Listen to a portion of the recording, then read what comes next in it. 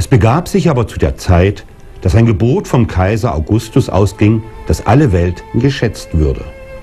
Und diese Schätzung war die allererste und geschah zu der Zeit, da Cyrenius Landpfleger in Syrien war.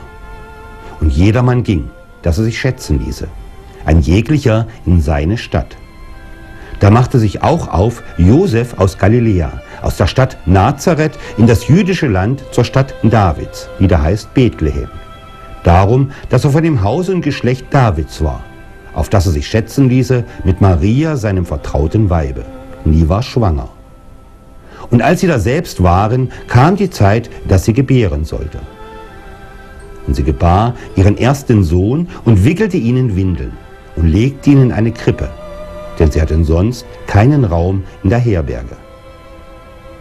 Und es waren Hirten in derselben Gegend auf dem Felde bei den Hürden, die hüteten des Nachts ihre Herde.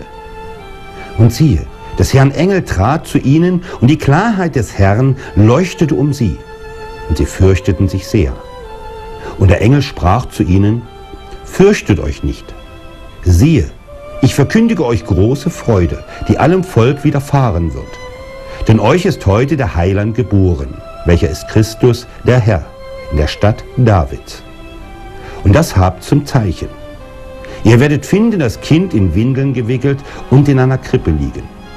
Und alsobald war da bei dem Engel die Menge der himmlischen Heerscharen. Die lobten Gott und sprachen, Ehre sei Gott in der Höhe und Friede auf Erden und den Menschen ein Wohlgefallen. Und da die Engel von ihnen gen Himmel fuhren, sprachen die Hirten untereinander. Lasst uns nun gehen gen Bethlehem und die Geschichte sehen, die da geschehen ist, die uns der Herr kundgetan hat. Kamen eilend und fanden beide, Maria und Josef, dazu das Kind in der Krippe liegen. Da sie es aber gesehen hatten, breiteten sie das Wort aus, welches zu ihnen von diesem Kinde gesagt war.